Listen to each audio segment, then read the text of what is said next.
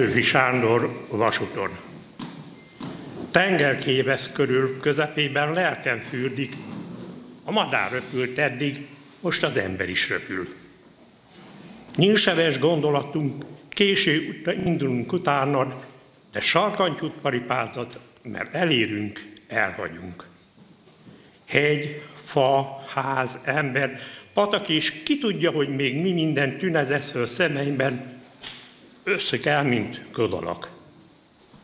A nap is velünk szalad, mint egy őrült, aki véri, hogy őt össze-vissza tépni, egy, űzi egy ördögcsapat. Futott, futott, s hasztalan elmaradt. Fáradva dőlt le a nyugati hegytetőre, arcán szégyenlángja van.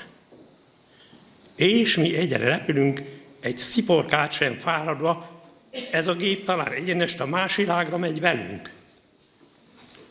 Százas utat, ezeret, csináljatok, csináljatok, hadd fussák be a világot, mint testek az eret. Ezek a földerei, bennük árad a műveltség, ezek által ömlenek szét az életnedvei. Miért nem csináltatok eddig is már? Vas hiányzott? Törjetek szét minden láncot. Lesz elég vasatok. A Tiszteletklub nevében szeretettel és tisztelettel köszöntök minden kedves megjelent vendéget. Örülünk, hogy elfogadtátok meghívásunkat, és együtt tölthetjük el ezt a mai napot, amit a 74. Vasutasnap alkalmából rendeztünk. Szeretettel köszöntöm a meghívott vendégeinket. Köszöntöm Szentes Bíró Ferenc urat, a Vasutas Nyugdíjas Klubok Országos Szövetségének alelnökét. Szeretném megköszönni a klubnak nyújtott támogatást, ami a mai rendezvényünkre kaptunk. Köszöntöm Sálvári Attilát, mezőtúr állomás főnökét. Köszöntöm Herceg Zsolt urat, országgyűlési képviselőt. Köszöntöm Szűs Dániel, mezőtúr polgármesterét. Köszöntöm Pozderka Kocsor Anitát, a Ficsak Mezőtúri Alapítvány kurátorát. Köszöntöm Tóth Ádám polgármesterek kabinet főnökét. És köszöntöm Bórjánő Erős Anitát, Anitát önkormányzati titkárt. Szeretettel köszöntöm Dóci Bodor Mártikát, Mezőtúr közművelés és sport közhasznú Romprofit Kft. program szervezőjét. Köszönjük a segítségüket, hogy mindig számíthatunk mindenkire, aki itt a közösségházban vagy a polgármesteri hivatalban, de köszönjük az állomásfőnöknek is, hogy helyet biztosít nekünk az állomáson, tartjuk mindig a klub foglalkozásainkat, és nagyon jól esik, ha néha benéz hozzánk, és egy-egy biztató szót mond nekünk. Szeretettel köszöntöm a társklubokat, barátainkat, két egyházára, Járásiné Icukát és tagjait. Békés Csabáról Kukola Marikát és tagjait. Nem. Szentesű, Munyickiné, Julikát és klubtagjait. Csongrádról Sarusi Kis Misit és tagjait. Szegedről Bárdosiné Julikát. Köszönjük, hogy olyan messziről egyedül is eljöttél hozzánk. Szajorból Sellerné Icukát és tagjait. Köszöntöm Öcsödről Tóth Antalné Esztikét és tagjait. Köszönjük, hogy ilyen szép létszámmal jöttetek hozzánk. Köszöntöm a Budapest Törekvés Klubról Kiszel Ferencné Marikát és tagjait. Köszöntöm a Lokomotív tagjait, Ladányi Gyulát és Katikát a Diabetes Klubból Hajduni Bárdos Arankát és klub tagjait. A Városi Nyugdíjas Klubból Vargáné Marikát és klub tagjait. Köszöntöm a Hagyományőrző Klubból Herceg Antalt és feleségét Marikát. Köszöntöm két póról Fejesné Erzsikét és Boldogné Piroskát. Ők nagyon szeretjük őket, minden rendezvényünkre eljönnek, meg a többi városira is. Köszöntöm állandó zenészünket, oroszné Szamos Margót és férjét orosz Kartit. Ők gondoskodnak nekünk a jó hangulatról. Végül köszöntöm a tisztelet vasutas nyugdíjas tagjait, akik segítségével sikerült ezt a napot megrendezni. Nem vagyunk sokan, de bebizonyítottuk, hogy ha összefogunk, sok mindenre képesek vagyunk. Az utóbbi héten többen lebetegedtek tőlünk, hát elég kevesen vagyunk, így, de innen is jó egészséget és mielőbbi gyógyulást kívánunk a többi tagunknak, és mindenkinek, aki mondott. Ma a 74. vasutas napot ünnepeljük, klubtársaim verseket olvasnak fel, fogadjátok őket szeretettel. Az első Vardáné Erzsike. Sramkó Ágnes az élet. Az élet egy suhanó gyors vonat, mely mindig új állomás felé halad. Az utasok mi vagyunk emberek, akik új célt keresnek. Van, aki boldogságot, örömöt keres, de olyan is van, aki pénz után siet. A megállónál, ahol leszállunk, nem biztos, hogy vágyainkat megtaláljuk. Ha úgy érzed, téves volt döntésed, legyen erőd másik állomás felé menned. Sietned kell, mert az élet rövid. Sok-sok megállóra nem telik. Egyszer csak a vonat megáll, s lehet, hogy ez már a végállomás.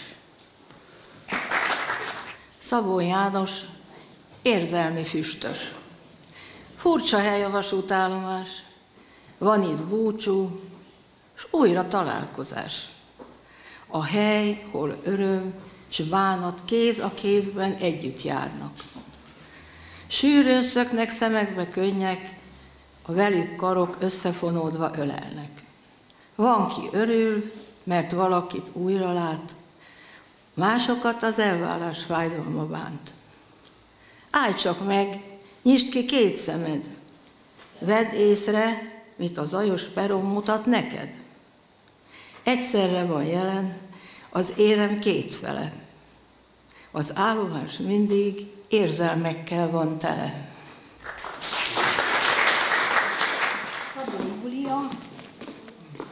az élet vonatán. Száguld az élet, akár a gyors vonat, szél, szorgalmasan viszi az elmúló sorsokat. Van kinek könnyebb, van kinek nehezebb, néha úgy érzed, nem törődik veled. Mindenki útja váltókon halad, néha rosszul, néha jól érzed magad. Állomások jönnek az utazás során, vannak, akik maradnak, s van, aki leszáll. Van, akit senki se vár, és van, akit várnak. Lehetsz boldog is, vagy boldogtalan árva. Tervezhetsz utakat, bárhova mehetsz, lehetsz szomorú, de boldog is lehetsz. Jegyet az útra mindig váltani kell, mindennek ára van, ezt ne feledjük el. Mindent megtehetsz életed során, utazhatsz bárhova az élet vonatán. utazhatsz bárhogy, akár gyors vonaton, hogy hol fogsz leszállni, nem tudhatod. Életünk során oly sok állomás, de senki sem tudja, hol a végállomás. Bérletet nem válthatsz, bárhogy érzed magad, hogy miért van ez így, örök rejtély marad. Benedekelek Pest felé. Fut a gőzös, nyílt sebesen, Pest felé fut, egyenesen. Szárnya nincsen, repül mégis, érzem, hogy repülök én is. Meghúzódom egy sarokban, öreg szívem meg megdobban. Mely nem csuda, komoly dolog, mikor amire én most gondolok. Átelemben az ülésen egy kis gyermek, mind őt nézem. Gyöngét kezek bárhogy óvják, lerúgja takaróját. Nem jön szememre álom, a jó kis mamát csodálom. Ébren viraszt egész éjjel, míg gyermeke alszik mélyen. Fut a gőzös, szinte repül, sípol, fütyül, égtelenül. Kattogása folyton halszik, de a gyermek mélyen alszik. Gőzös fittyét még hallgatom, messzire száll gondolatom, s megpihen egy kis szobában, szálva száll az éjszakában. A kis szobában látva látom, két gyöngekor, amit átfon. Egy gyermeket csicsítgatva, a pihegését hallgatva. Egy gyermeket bárhogy óvják, lerúgja takaróját, és gondolatban, álmatagon én magam is takargatom. Takargatom, csókolgatom, szeretettel babusgatom, és míg magamat mulattatom ezzel, dereng az ég, itt a reggel. Még csak egy jó futamodás, ihol a pesti állomás.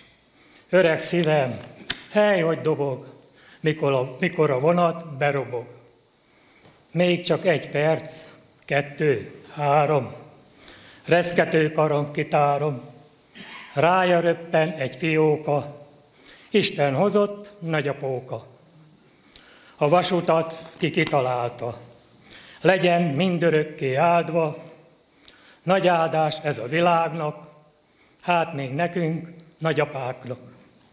Köszönöm.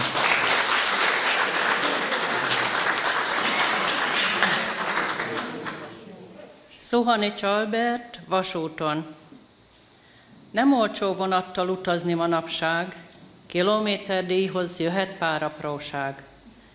Gyors vonattal jöttem, vettem portjegyeket, mellé megvetettek egy pár portkereket.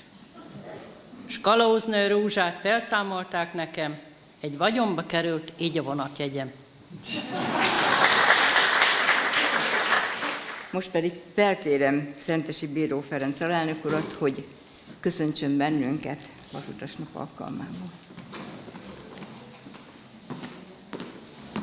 Legelőször a vendéglátóklubot szeretném köszönteni. Hát Köszönöm szépen. Virággal. Köszönöm.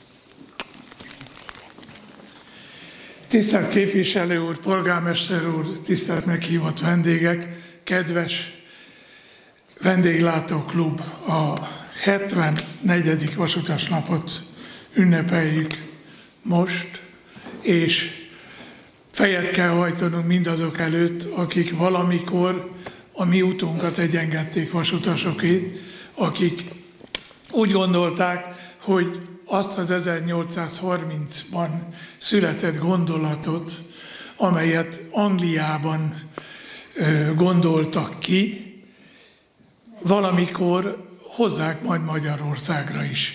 Ugyanis a világ vasútja 1830-ban Manchester és Liverpool között futott, és egy rakett, egy rakéta nevezetű gőzmozdony húzta, ezzel indult meg a vasút világhódító útjára.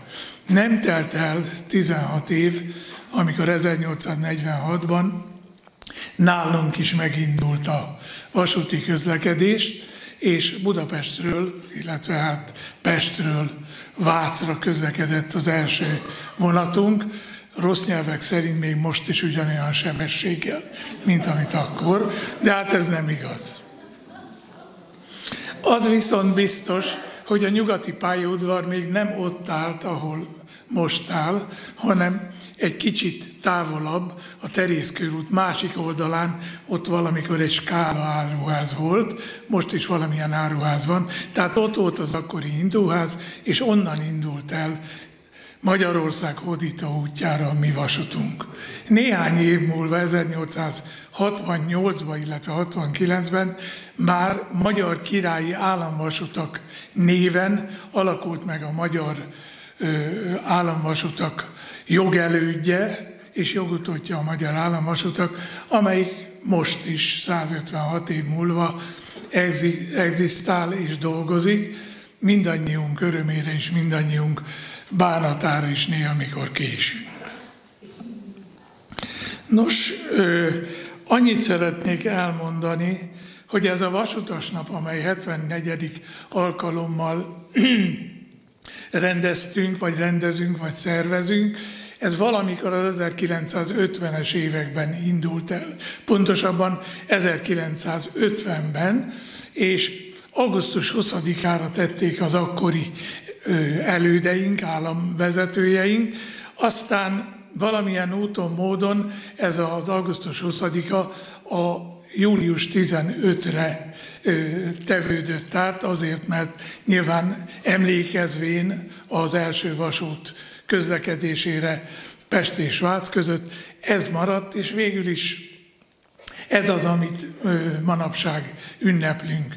50-től nagyon kevés ember van, aki tudja, hogy aki ott volt, és 50-től ünnepli ezt a ünnepségünket. Bandi bácsi talán tud róla mesélni majd, hogyha valaki megkérdezi. Ő Tóth András, aki nem sokára magas kitüntetést fog kapni. Valamikor, amikor én 1968-ban vasutas lettem, 173 ezer dolgozója volt a vasútnak. Ezt, hogyha a családtagokat is hozzáveszünk, több mint egy millió ember Magyarországon, aki valamilyen kapcsolatban volt a szeretett vasútjával, és azok a vasutasok, akik velem együtt, vagy én nálam is korábban kezdtek, az én nagybátyám, nagyapám, azok bizony 40, 45-50 éveket rántottak le, mire nyugdíjba mentek, és bizony nagyon sokan olyan betegséggel küzdöttek, mikorra már elérték a nyugdíjkorhatárt, amely után bizony nem sokáig éltek. Manapság ez már hála Istennek nem így van. Amikor én nyugdíjba mentem, valamikor 2009-ben, akkor én tőlem egy sajtós kollégám megkérdezte, hogy miért, mit szerezte ebbe a vasútba? Mi az, ami téged 41 évig itt tartott? Nos, én azt mondtam neki, hogy gondolj bele, egy vonat mondjuk elindul Makóról, és fölmegy Budapestre.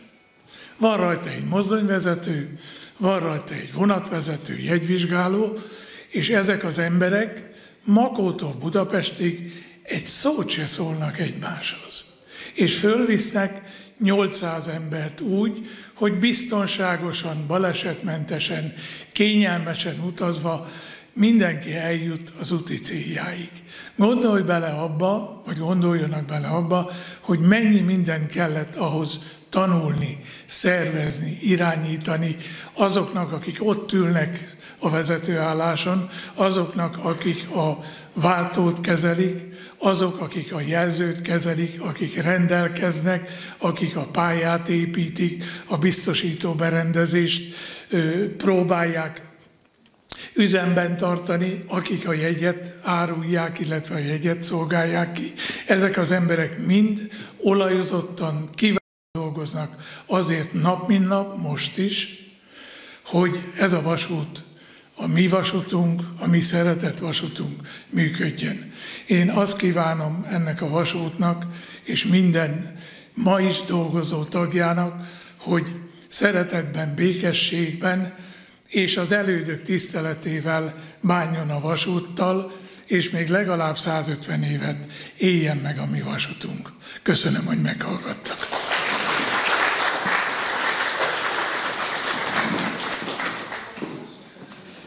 Megkérem Sárvári Attilát, mezőtúr állomás főnökét, hogy ő is mondjon egy pár szót mezőtúr állomásáról. Én is szeretettel és tisztelettel köszöntök mindenkit. Nagyon köszönöm a felkérést, hogy mezőtúr állomás történetéről beszélhetek. Bár nagyon nehéz dolgom van és volt, mert uh, talán úgy gondolom egy fél napot, vagy akár egy egész napot is lehetne beszélni. De én úgy gondoltam, hogy ezt két és fél oldalba szerettem volna összefoglalni, Úgyhogy ha kicsit rövidnek fog tűnni, akkor ezért elnézést kérek, és próbáltam úgy felbontani, hogy a régi történelemtől kezdjük, akkor majd utána jönnek egy fő bépszámok, és akkor beszélünk a mai napról, a napjaink időpontjairól. Magyarországon ugye az 1836. évi 25-ös törvény foglalkozott először ebben a vasúti és építési engedélyekkel. Ezen felhatalmazás alapján a helytartó tanács Szitányi Ulman Móricz vállalkozónak 1837. április 3-án engedélyt adott, hogy előmunkátokat folytasson Pesttől Debrecenig történő vasútvonal megépítésére. A térképvázatok szerint, hogy a ceglét Szolnokon át tervezték, későbbi kivitelezéssel pedig a vasútvonal Törökszent Miklós mezőtúron haladt volna át Erdélybe. Több változtatással az országgyűlés ezt a Dunaparti vonalat fogadta el azzal a kikötéssel, hogy Szolnokon és Mezőtúron kell vezessen a vasútvonalnak Erdély felé. Széchenyi István 1848. január 25-én előterjeszti javaslat a magyar közlekedésügy rendezéséről című dolgozatát.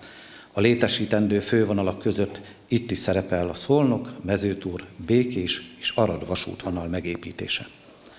Az elbukott szabadságharc után, ugye 1850. március 7-én az osztrák állam államosította a magyar vasúti vonalat, és a pénzügyi nehézségek és a magyar érdekek semmibe vétele az osztrák kormányt arra késztette, hogy az állami vasúti rendszert megszüntesse. Ekkor alakult meg, hogy a Tiszavidéki Vasúti Társaság, amely többek között magába foglalta Szolnok-Arad közötti vasútvonalnak a megépítését. Érdemes megemlíteni a terv megvalósításával kapcsolatban két olyan fontos település, mint Békés és Gyula, nem engedték, hogy rajtuk keresztül épüljön meg a vonal, de az ellenzők között volt Szarvasváros is. A vasút építésének legnagyobb ellenzői Szarvason és Békésen a fuvarosok voltak, akik nagy gyűlésen tiltakoztak, Gyulán pedig a földbirtokosok. A vasútársaság ugye látva az akadályokat, a vonalvezetést megváltoztatta, és azt a mai vonalnak megfelelően Szolnok, Mezőtúr, Gyoma, Mezőberény, Csaba, még akkor ugye Csaba volt, két egyháza Kürt és Arad vonalra módosította. De bár persze későbbiekben Szarvas, Békés és Gyula is keresték a lehetőséget, hogy bekapcsolódjanak a vasúti közlekedésbe, de ezáltal ugye ők már a nemzetközi fővonalnak a vonalából kimaradtak. A terv elkészülése után ugye hozzáfogtak a vonal megépítésének, az akkor még szegényes műszaki felszerelések ellenére ugye jobbára a kubikusok munkájával készült el. Ezzel mezőturválos bekapcsolódott Európa közlekedés egyik fő ütőerébe. 1858. október 25-én nyitották meg fővonalunkat, innen számítjuk mezőturállomás főnökségnek a kezdetét. Na persze jött tovább az idő. Szarvasállomás, vagy Szarvasváros rövid látása folytán ugye kimaradt a fővonal hálózatból, egyre jobban érezték, hogy a város elszigeteltődik, és rájöttek, hogy vasútvonal nélkül sorvadásra vannak ítélve. Erre egyetlen lehetőség kínálkozott, mezőturállomáson keresztül bekapcsolódni az országos vasúti törzshálózatban. A Tiszavidéki Vasúttársaság előkészületek után 1880-ban befejezte Mezőtúr Szarvas közötti helyi érdekű vasút építését, tehát csak Szarvasig építettek, amelyet 1880. május 1 nyitottak meg. Majd a Szarvas Orosháza közötti vasúti vonalrészt arra majd csak később került sor. Hogy a szarvasi vonal megépítésével megteremtődött mezőtúrváros közlekedési csomópont jellege, ezáltal a környékbeli települések igénye megnőtt a vasút hálózatba történő bekapcsolása. Így volt ebben Turkeve vonatkozásában is az város. Mezőtúr Turkeve vasútvonal építése olyan gyorsan haladt, hogy 1885. október 5-én átadták a 15,44 km hosszú vasútvonalat. Menjünk tovább. És akkor térjünk rá a személyes dolgokra. Az első állomásfőnököt 1862. május 5-én nevezték ki Pavlicek Jakab személyében, aki ugye nem csak az állomásfőnöki teendőket, hanem a mérnöki tevékenységet is ellátta. Majd 1879. szeptember 6-án a mérnöki osztály hatásköréből kivették az állomásvezetést, és így önálló állomásfőnökséget szerveztek. Tulajdonképpen, tehát magát az állomásnak a állomás főnökségi jellegét ettől az időponttól számoljuk. Az állomásnak a megalakulásától ugye napjainkig 19 állomás főnöke volt. Bandi bácsi, mint te vagy az egyik, aki most azt mondom, hogy az élők, illetve a Cseh Attila az osztályvezető úr, aki Szegeden osztályvezető, Én meg a 20. vagyok még, mint regnáló állomás főnökként, hát remélem még van 10 évem nyugdíjig, és ha megérem, akkor szeretném itt befejezni. És akkor menjünk tovább. 1956-os forradalom eljött, ennek az idején a mezőtúri vasutasok is a legzavarosabb időben is ugye helyükön tudtak maradni, és bár Szolnok, Békés Csaba körzetében minden vasúti forgalom leállt, Mezőtúr város környékének vasúti forgalmát fenntartották. Majd 1963-ban az állomás teljes vágányhálózatát kicserélték, felújították, ezt követően a fővonal teljes vágányhálózatán vágányserét hajtottak végre, bevezették a hosszú sineket, a heggesztéses pályát megépítették, ami már legkorszerűbb követelményeknek abban az időpontban megfelelt. Majd 1966. december 14-e következett, akkor ugye a mezőtállomás életébe Integra Dominó rendszerű biztosító berendezést adták át. És akkor jöjjenek a főbb dátumok. 1970. május 1-én átadják az állomás korszerű térvilágítási rendszerét, aki még emlékszik rá, 8 darab 25 méteres világító torony került felállításra. 1970. december 23-án közlekedett először MDA motorvonat mezőtúr szarvas vonalon. 1972. június 30-án megszűnt az önálló mezőtúri fűtőházi kirendeltség. Majd 1972. november 1-én megkezdődtek a Szajól Lőkösháza villamos vonal felsővezetéki hálózatának a munkálatai. 1973. január 11-én használtak először fejvédő sisakot a tolatásban résztvevő dolgozók. Gondolhatjuk akkor hányszor verték a kopakot be. Ugye? Érdekes. 1974. január 29-én tartották Szajól mezőturállomás bejárati jelzőjéig a villamos felsővezeték feszültségnek a próbáját, majd 1974. július 8-án 15 óra 13 perckor mezőtanállomás második vágányára behaladt az első villamosvontatású vonat, melynek vonatszáma 6602, vontatójárműje az V43 1158-as számmal. Majd az érkezése után a harmadik, negyedik, ötödik, hatodik és a hetedik vágánynak a villamos felsőtéki próbáját megtartották. És akkor jött a nagy idő, majd 1974. július 14-én menetrend szerint akkor 5 óra 37 perckor indult az első olyan villamosvontatású vonat, ami utána ugye folyamatosan, ugye a 67-27-es számú vonattal. Majd 1975. Augusztus 31, köszönöm Bandi bácsi a kiegészítést, megszüntették Mezőtúr Turkeve vasútvonalat, ezt ugye tudjuk az 1968-as vasút koncepció alapján, sajnos. Majd jött 1976. május 4, Ekkor hangzott fel először mezőtől állomáson a MÁV szignál. 1977. január 1-től önálló gócállomásként működik, ugye ez Tiszatenyőtől le Nagylapos, illetve Szarvas állomás. Majd 1977. január 12-én megépült Mezőtúr és ugye Csugar között a sziktály hőnfutási jelző berendezés. 78. május 17 helyezték üzembe mezőtúri villamosalállomást, 78. június 1 július 1-én létrehozták a körzeti üzemfőnökséget, ehhez tartozott ugye mezőtúr állomás is majd. 1979. október 17-én átadták a forgalomnak kereskedelmi telepet, ahol ugye rakodó vágányok vannak, ez három darab csonkavágányjal, ennek a kihúzó vágánya sajnos, amit az előbb is elmondtam, 1975-ben megszüntetett turkai, turkevei vasútvonalból ágazik ki. 1980. január 1-én mezőtúr állomás oktatási gócállomásnak nevezik ki. Igaz, Bandi bácsi? 1985-86, és akkor itt már jön, hogy átépítették az állomás, akkor menjünk, ugorjunk most már egy nagyot, de mondom, nagyon sokat lehetne még beszélni erről. Ugye majd következett 2005 és 8 közötti időszakban akkor az első alkalommal az uniós forrásokból Szajol mezőtúrvonal szakasz átépül. Ebben az időszakban ugye csugarállomás és ugye pusztapó állomás megszülik, mint állomás helyette ugye megálló hely létesül. Most már azt tudjuk, hogy két évben már csugarba sem állnak meg a vonatok, tehát mint csugar megálló hely megszűnt. Létezik fizikailag, de mint hogy vonatok szempontjából már nem létezik.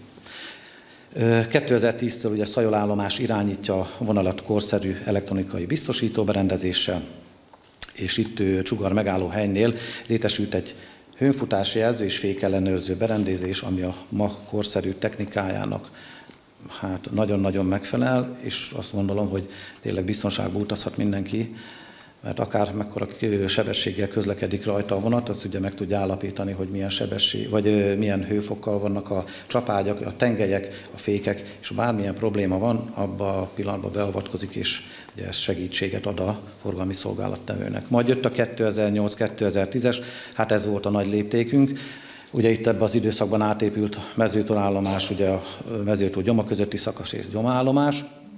Ebben együtt ugye megszűnt a nagylapos állomás, helyett ugye megálló, megállóhely épült.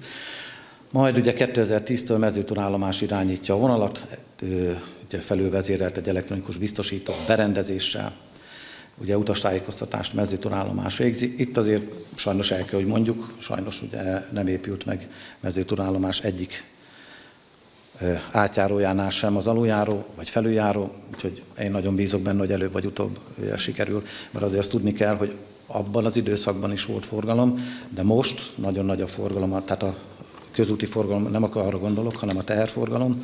Hát azért negyedik európai ugye, folyosóról beszélünk, és ugye most tartunk ott már, hogy az Békés Csaba, Kétegyháza, Lőkösháza vonalat ugye teljesen átépítették, ott az elektronikus biztosító berendezés július közepétől működtetik, a két vágányú pálya most már megépült a határig, igaz még vágányzárakkal, ugye kisebb-nagyobb kapacitás szűküléssel, de azért most el lehet gondolni, ami most volt tervonati forgalom, hát azt mondom, hogy másfélszeresére biztos, hogy meg fog nőni. A kapacitás a határállomáson az elég jó megnőtt. Ugye a Kürtös az kint van Romániában, mint közös határállomás, hontják a vonatokat.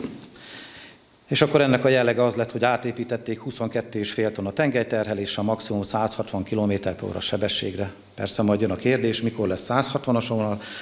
A vonal most is alkalmas arra, maga a biztosító berendezés is, egy része, de most ebben az évben ugye a korszerű rádiós GSMR rendszer üzembe helyezésre kerül vele együtt az RTCS rendszer, ami azt jelenti, hogy most már ugye egységes európai vonatbefolyásoló rendszerrel fog működni minden. Aki ismeri a vasutat, akkor mondhatjuk azt, hogy klasszikusan a térközi rendszert azt már el lehet felejteni, teljesen elektronikusan parancsot ad a mozdonyvezetőnek. Ha a mozdonyvezető mondjuk egy lassú jelhez érkezik, vagy egy közelít egy olyan szakaszra, hogy a megálljelzéssel van neki zárolva a vágányrész, és meghatározott időpelül nem kell fékezni, figyelemfelhívással, tehát ez villogófénnyel, élőszavasan is ugye mondja, mondja, mondja, és ha nem, akkor ugye automatikusan elkezdi fékezni a berendezést. Hát még egyet akarok, ugye, ami a változásról megy, a változunk mindig. Ezek most 7. hó elsőjétől ugye megint történt egy változás a vasúton belül, különböző ugye, ellenőrzési szintek megszűntek. Most újra azt mondom, hogy mint állomásfőnökség szempontjából még komolyabb feladatunk van. Ugye úgy, mint Békés Csaba csomóponti főnökség, tehát vagy országosan a csomóponti főnökségek megszűntek, és már megint ugye a területi forgalmi osztály Szegedhez tartozunk. Talán azt mondom, hogy eddig is jó helyen álltunk, reméljük, hogy ezután még jobban. Úgyhogy köszönöm a megtisztelő figyelmüket, én ennyit szerettem volna elmondani. Akinek kérdése van, bármikor rendelkezésre állok bárkinek. Jó? Köszönöm még egyszer, hogy meghallgattak. Most felkérem Herceg Zsolt, országgyűlési képviselőt. Jó napot kívánok, nagyon nagy tisztelettel és szeretettel köszöntök mindenkit. Klubvezető asszonyt, a házigazda klub tagokat és minden kedves vendéget, külön a vidékről érkezőket nagyon nagy szeretettel Tisztelt jelenlévők, Bandi bácsi néhány perccel ezelőtt azt mondta, hogy én is tiszteletbeli vasutas vagyok. Hát ezt azért mondtam, mivel a nagybátyám, ja, annak idején ő is állomásfőnökként dolgozott itt, és a nagypapám is ö, szolgálta a, a vasutat, és kérem engedjenek meg egy nagyon rövid személyes történetet. Ezt nekem Dobozi Attila professzor úr mesélte, aki néhány évvel ezelőtt lett mezőturváros díszpolgára. Őről azt kell tudni, hogy néhány évig a Szegedi Orvostudományi Egyetem rektoraként dolgozott, és jó néhány éven keresztül a bőrklinikának ott Szegeden volt a, a vezető főorvosa, akinek az édesapja szintén a között a 20 állomás főnök között van, akit Attila említett. Amikor kinevezték a professzor úr édesapját állomás főnöknek, akkor Szarvas felől jött a vonattal, olyan nagypapa volt a, a kalauz, és elkezdtek beszélgetni, és amikor megtudta, hogy hát a kinevezett állomás főnökkel találkozott, akkor elővette a táskájából a pálinkás bugykost, és akkor mondta neki, hogy hát akkor állomás főnök úr, akkor ígyunk egyet az egészségére, és hogy állomás főnök úr közölte vele, hogy ő nem iszik pálinkát, ő nem szereti a pálinkát. Na erre a papa válasza az volt, hogy hát akkor nem is sokáig lesz itt állomás főnök. Ez csak a akkori kornak a viszonyairól, ugye az a munkahelyen történő alkoholfogyasztásnak a szép példája. Hát rossz jós volt a papa, mert ha jól emlékszem, akkor majdnem 30 évig volt állomásfőnök. Leghosszabb ideig ő volt az állomásfőnök, úgyhogy ezt mindenképpen el akartam mondani, mert egyrészt a szívemnek nagyon kedves, mert nyilván nagyon szerettem a, a nagypapámat, és hát tényleg egy, ez, ez egy jó, vidám történet.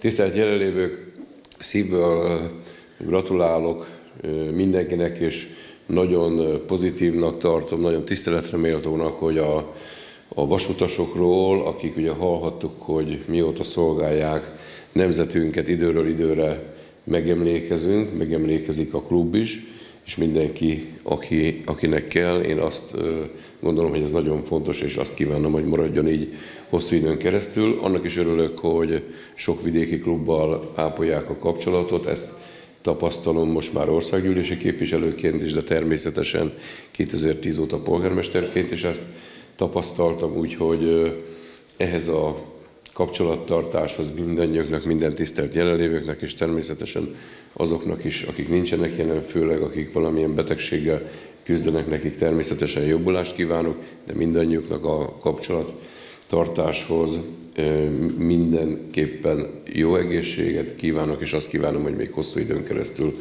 ápolják a kapcsolatot.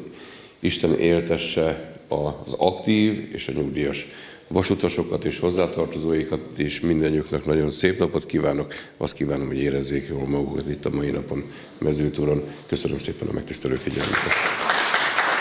Felkérem Szűs Dániel polgármester urat, hogy köszöntsön bennünket. Tisztelt Hölgyeim és Uraim, nagyon nagy szeretettel köszöntök mindenkit a, a mai nap alkalmából. Külön tisztelettel köszöntöm képviselő urat, halálnök urat, állomásfőnök urat, klubvezető asszonyt és minden kedves jelenlévőt. Szeretettel köszöntöm a mezőtúri eh, klubok tagjait, és szeretettel köszöntöm a kedves vendégeinket is, akiket gyakorlatilag már szintén úgy köszöntjük egymást, mint hogyha mindenki mezőtúri lenne. Eh, ennek szívből örülök, ez is azt mutatja, hogy a mezőtúriak rendkívül vendégszerető emberek, és azt is mutatja, hogy önök pedig szeretnek hozzánk eh, ide járni. Én nagyon nagy örömmel eh, látom önöket eh, mindig itt eh, mezőtúron, és azt is jó látni, hogy mindenki gyakorlatilag ezeken a rendezvényeken rendkívül jól érzi magát. A 74.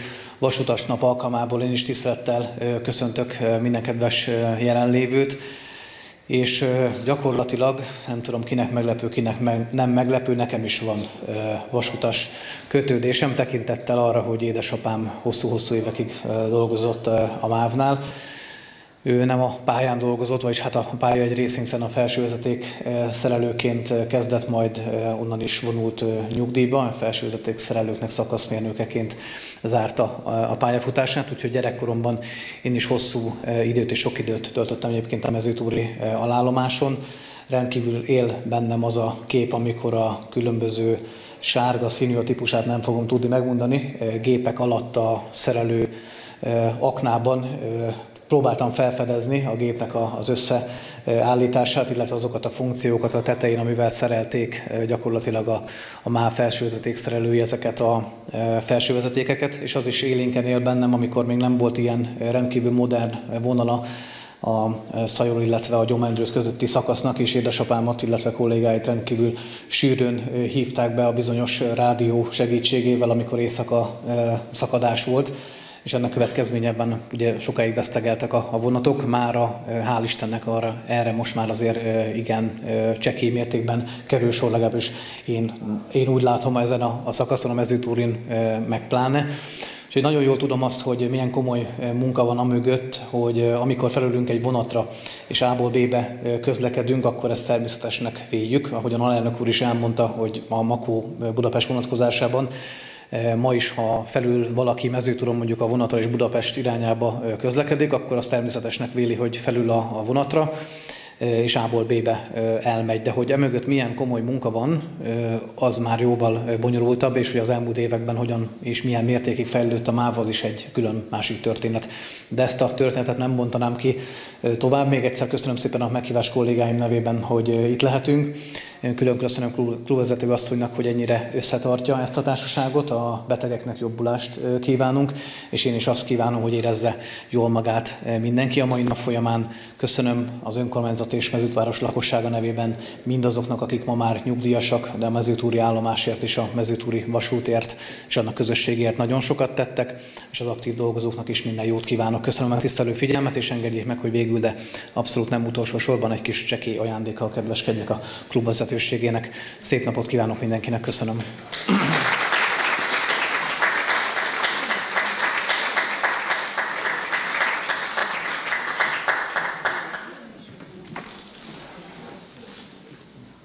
Köszönjük szépen. Köszönjük szépen, és most felkérem Dóci Bodor, Bodor Mártit, hogy ő is köszöntsön bennünket. Nagyon szépen köszönöm, én igazából Pete Lajos ügyvezető úr köszöntő szavait hoztam, ő most családi elfoglaltság miatt nem tud részt venni, de nagyon sajnálja, hogy nem tud részt venni, viszont annak nagyon örül, hogy a klub most itt a házban tartja meg ezt az összejövetelt, hiszen szeretünk elmenni a szőlőfürt vendéglőbe, de azt is szeretjük, hogyha önök jönnek hozzánk. Én viszont annyit szeretnék mondani a magam részéről, itt csatlakozva az előttem szólókhoz, hogy az én nagyapám, a nagypapám is a vasútnál dolgozott, ő pályamunkás volt, és mindig nagy örömmel mentem utána, vagy vele a vasútállomásra, és nem volt más közlekedési eszköz, mint a vasút, hogyha családhoz kellett menni, ha rokont látogatni kellett, akkor én mindig, mindig a, a nagypapával mentem, és, és és vele utaztunk a vasúton, úgyhogy én ilyenkor most, ahogy hallgattam a, a beszédeket, egy kicsit el is nosztalgiáztam, hogy milyen jó idők voltak azok, sajnos, hogy már nincs köztünk, de mindig nagy szeretettel gondolok rá.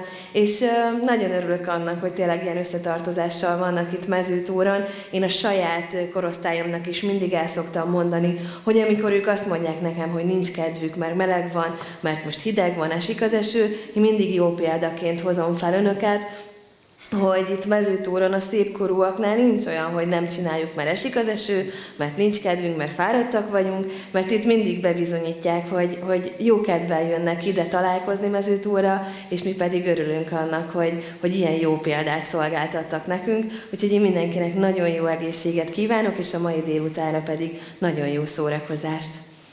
Köszönöm egy